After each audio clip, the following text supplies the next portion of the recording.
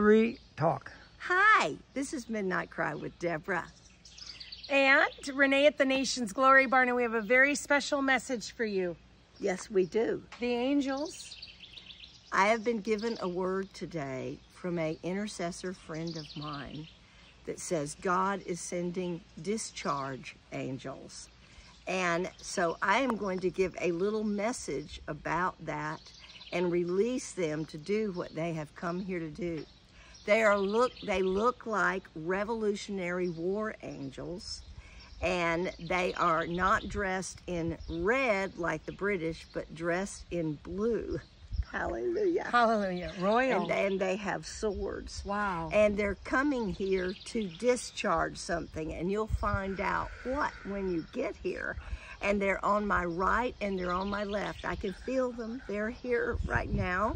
And so God told me I usually pray over in the peaceful garden, which I love. I know. And uh, but the Lord told me to come and pray in the tent. And so I am going to call all of you back that have already been here. The ones that have thought about being here and didn't make it, the ones who came Saturday, the ones who came Sunday, thought you Friday. thought you got all you needed. Well, I'm telling you, you can't get enough. Come back. Tonight, 6 p.m. It is Monday, July 24th.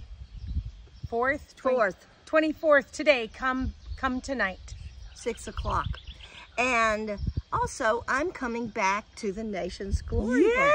Tell them about that. It is Saturday and Sunday of September. It's Labor Day weekend. Labor Day, and, 6 I, and probably Monday, but we don't know who else may come to speak. So we're definitely having it Labor Day weekend.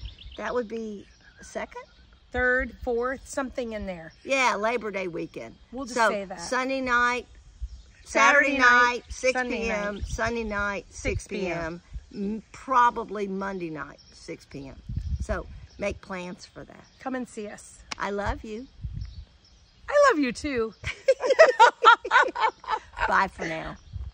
Hallelujah! Hit the button. That was our